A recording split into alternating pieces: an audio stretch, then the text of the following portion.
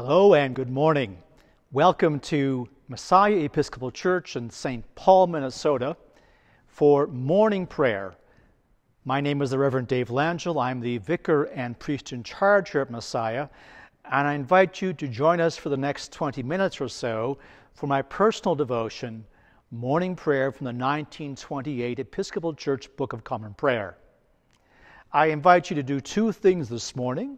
One is to log into YouTube so we can know who it is that is praying with us and your location. I invite you to share that in the chat window and also to click on the links below the screen.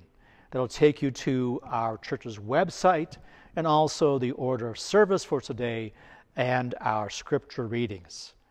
let us pause for a moment's silence and center ourselves upon Almighty God.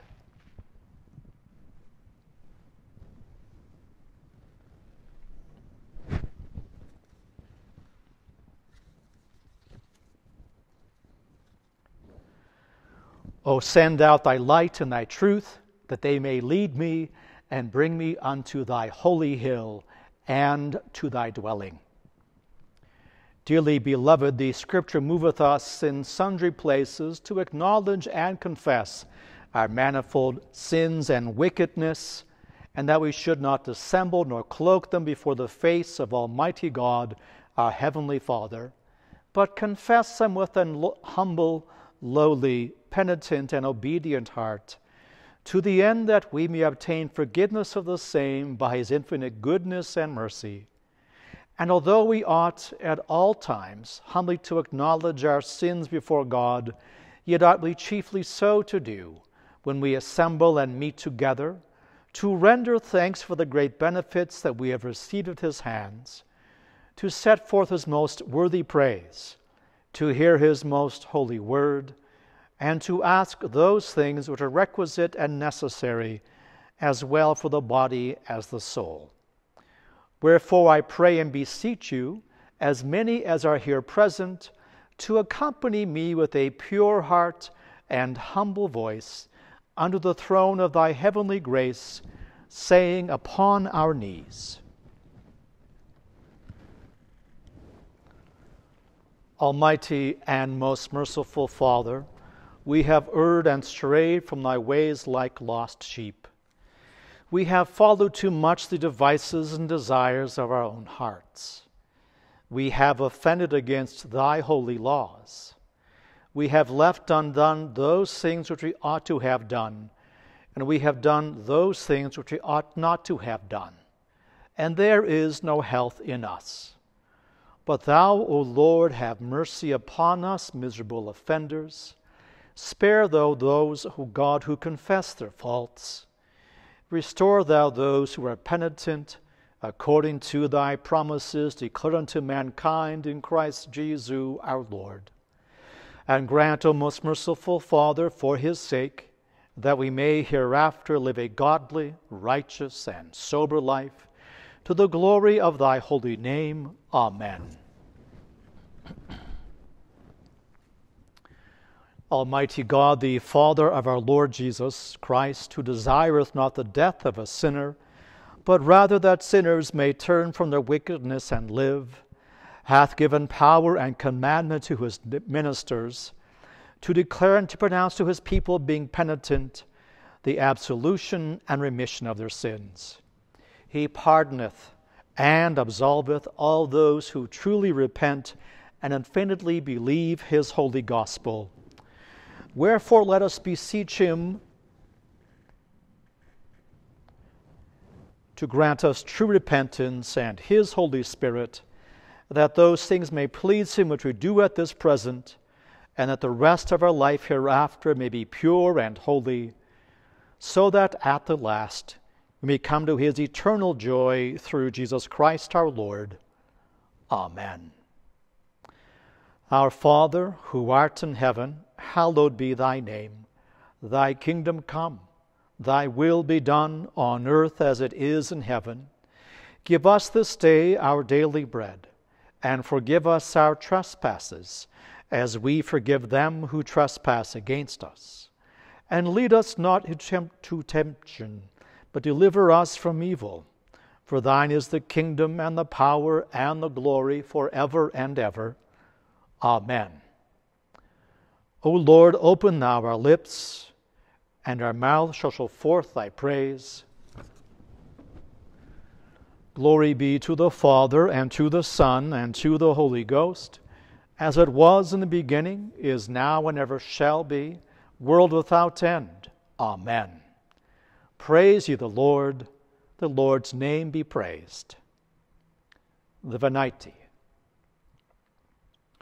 O come, let us sing unto the Lord. Let us heartily rejoice in the strength of our salvation. Let us come before his presence with thanksgiving and show ourselves glad in him with psalms. For the Lord is a great God and a great King above all gods. In his hand are all the corners of the earth, and the strength of the hills is his also. The sea is his, and he made it, and his hands prepared the dry land. O come, let us worship and fall down, and kneel before the Lord our Maker. For he is the Lord our God, and we are the people of his pasture and the sheep of his hand. O worship the Lord in the beauty of holiness. Let the whole earth stand in awe of him, for he cometh, for he cometh to judge the earth, and with righteousness to judge the world and the peoples with his truth. Glory be to the Father, and to the Son, and to the Holy Ghost, as it was in the beginning, is now, and ever shall be, world without end. Amen. The psalm appointed the 18th psalm. I will love thee, O Lord, my strength. The Lord is my stony rock and my defense my Savior, my God, and my might, in whom I will trust, my buckler, the horn also of my salvation and my refuge. I will call upon the Lord, which is worthy to be praised. So shall I be safe from mine enemies. The sorrows of death encompassed me, and the overflowings of ungodliness made me afraid. The pains of hell came about me, the snares of death overtook me in my trouble I called upon the Lord and complained unto my God. So he heard my voice out of his holy temple, and my complaint came before him. It entered even into his ears. The earth trembled and quaked. The very foundations also of the hills shook and were removed, because he was wroth. There went a smoke out of his presence, and a consuming fire out of his mouth so that coals were kindled at it. He bowed the heavens also and came down, and it was dark under his feet. He rode upon the cherubim and did fly. He came flying upon the wings of the wind. He'd made darkness his secret place, his pavilion round about him with dark water, and thick clouds to cover him. At the brightness of his presence, his clouds removed hailstones and coals of fire. The Lord also thundered out of heaven, and the highest gave his thunder, hailstones and coals of fire. He sent out his arrows and scattered them. He cast forth lightnings and destroyed them. The springs of water were seen, and the foundations of the round world were discovered. At thy chiding, O Lord, at the blasting of the breath of thy displeasure. He sent down from on high to fetch me, and took me out of many waters. He delivered me from my strongest enemy, and from them which hate me. For they were too mighty for me. They came upon me in the day of my trouble, but the Lord was my upholder. He brought me forth also into a place of liberty. He brought me forth, even because he had a favor unto me. Glory be to the Father, and to the Son, and to the Holy Ghost, as it was in the beginning, is now, and ever shall be, world without end. Amen. The first lesson appointed from the first book of Kings, the 12th chapter. And Rehoboam sent to Shechem, for all Israel were to come to Shechem to make him king. And it came to pass when Jeroboam the son of Nebat, who was yet in Egypt, heard of it, for he was fled from the presence of King Solomon, and Jeroboam dwelt in Egypt, that they sent and called him. And Jeroboam and all the congregation of Israel came and spake unto Rehoboam, saying, Thy father made our yoke grievous. Now therefore make thou the grievous service of thy father, and his heavy yoke, which he put upon us, lighter, and we will serve thee. And he said unto them, Depart yet for three days, then come again to me. And the people departed. And King Rehoboam consulted with the old men that stood before Solomon his father while he yet lived, and said, How do ye advise that I may answer this people? And they spake unto him, saying, If thou wilt be a servant unto this people this day, and wilt serve them, and answer them, and speak good words to them, then they will be thy servants forever. But he forsook the counsel of the old men which they had given him and consulted with the young men that were grown up with him, which stood before him. And he said unto them, What counsel give ye that we may answer this people, who have spoken to me, saying, Make the yoke which thy father did put upon us lighter? And the young men that were grown up with him spake unto him, saying, Thus shalt thou speak unto this people that spake unto thee, saying, Thy father made our yoke heavy, but make thou it lighter unto us. Thus thou shalt thou say unto them, My little finger shall be thicker than my father's loins. And now, whereas my father did lade you with a heavy yoke, I will add to your yoke. My father hath chastised you with whips, but I will chastise you with scorpions. Here endeth the lesson the Benedictus. Blessed art thou, O Lord God of our fathers, praised and exalted above all forever. Blessed art thou for the name of thy majesty, praised and exalted above all forever. Blessed art thou in the temple of thy holiness, praised and exalted above all forever. Blessed art thou that beholdest the depths, and dwellest between the cherubim praised and exalted above all forever. Blessed art thou on the glorious throne of thy kingdom, praised and exalted above all forever. Blessed art thou in the firmament of heaven, praised and exalted above all forever. Glory be to the Father, and to the Son, and to the Holy Ghost, as it was in the beginning, is now, and ever shall be, world without end.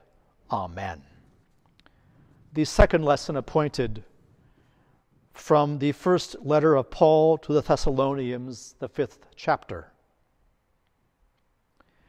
And we beseech you, brethren, to know them which labor among you, and are over you in the Lord, and admonish you, and to esteem them very highly in love for their work's sake, and be at peace among yourselves. Now we exhort you, brethren Warn them that are unruly. Comfort the feeble minded. Support the weak. Be patient toward all men. See that none render evil for evil unto any man, but ever follow that which is good, both among yourselves and to all men. Rejoice evermore. Pray without ceasing. In everything give thanks, for this is the will of God in Christ Jesus concerning you. Quench not the spirit, despise not prophesyings, prove all things, hold fast that which is good, abstain from all appearance of evil, and the very God of peace sanctify you wholly. And I pray God your whole spirit and soul and body be preserved blameless under the coming of our Lord Jesus Christ. Faithful is he that calleth you who also will do it. Brethren, pray for us. Greet all the brethren with an holy kiss. I charge you by the Lord that this epistle be read unto all the holy brethren. The grace of our Lord Jesus Christ be with you. Amen. The first epistle unto the Thessalonians, was written from Athens. Here endeth the lessons. The Jubilate Deo. O be joyful in the Lord, all ye lands. Serve the Lord with gladness, and come before his presence with a song. Be ye sure that the Lord, he is God. It is he that hath made us, and not we ourselves. We are his people, and the sheep of his, ha- of his pasture. O go your way into his gates with thanksgiving, and into his courts with praise. Be thankful unto him, and speak good of his name. For the Lord is gracious, his mercy is everlasting, and his truth endureth from generation to generation. Glory be to the Father, and to the Son, and to the Holy Ghost, as it was in the beginning, is now, and ever shall be, world without end. Amen. Now let us profess our faith with the words of the Apostles' Creed, saying, I believe in God the Father Almighty, maker of heaven and earth, and in Jesus Christ, his only Son, our Lord, who was conceived by the Holy Ghost, born of the Virgin Mary, suffered under Pontius Pilate, was crucified, dead, and buried. He descended into hell. The third day he rose again from the dead. He ascended into heaven and sitteth on the right hand of God the Father Almighty. From thence he shall come to judge the quick and the dead. I believe in the Holy Ghost, the holy Catholic Church, the communion of saints, the forgiveness of sins, the resurrection of the body, and the life everlasting. Amen. The Lord be with you and with thy spirit. Let us pray upon thy knees. O Lord, show thy mercy upon us and grant us thy salvation. O God, may clean our hearts within us and take not thy Holy Spirit from us. Lord, we pray thee that thy grace may always prevent and follow us and make us continually to be given to all good works through Jesus Christ our Lord. Amen. O God, who art the author of peace and lover of concord, in knowledge of whom standeth our eternal life, whose service is perfect freedom, defend us, thy humble servants, in all assaults of our enemies, that we, surely trusting in thy defense, may not fear the power of any adversaries through the might of Jesus Christ our Lord. Amen.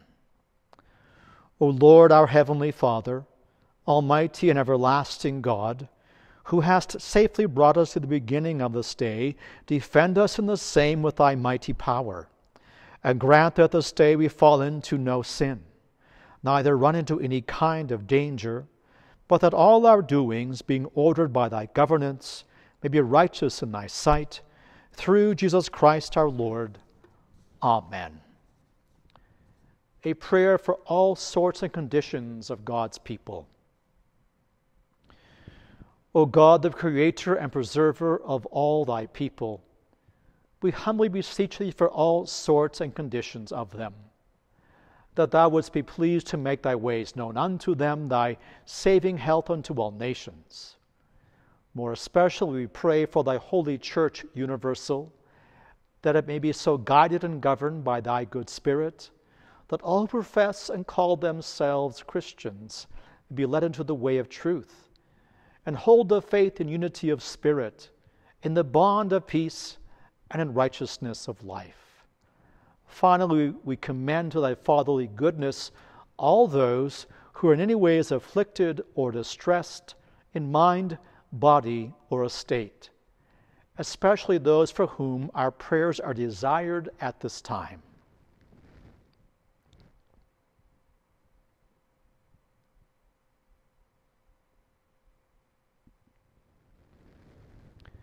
That it may please you to comfort and relieve them according to their several necessities, giving them patience under their sufferings and a happy issue out of all their afflictions and this we beg for Jesus Christ, his sake. Amen. A general thanksgiving said by all. Almighty God, Father of all mercies, we, thine unworthy servants, to give thee most humble and hearty thanks for all thy goodness and loving kindness to us and to all men. We bless thee for our creation, preservation, and all the blessings of this life, but above all, for thine inestimable love in the redemption of the world by our Lord Jesus Christ, for the means of grace and for the hope of glory and we beseech thee, give us that due sense of all thy mercies, that our hearts may be unfeignedly thankful, and that we show forth thy praise not only with our lips, but in our lives, by giving up ourselves to thy service, and by walking before thee in holiness and righteousness all our days, through Jesus Christ our Lord, to whom with thee and the Holy Ghost be all honor and glory, world without end. Amen a prayer of St. John Chrysostom. Almighty God, who has given us grace at this time with one accord to make our common supplications unto Thee, and us promise that when two or three are gathered together in Thy name, Thou wilt grant their requests. Fulfill now, O Lord, the desires and petitions of Thy servants, as may be most expedient for them, granting us in this world knowledge of Thy truth and in the world to come, life everlasting. Amen. may the grace of our Lord Jesus Christ and the love of God and the fellowship of the Holy Ghost be with us all evermore. Amen. Here endeth the order of morning prayer.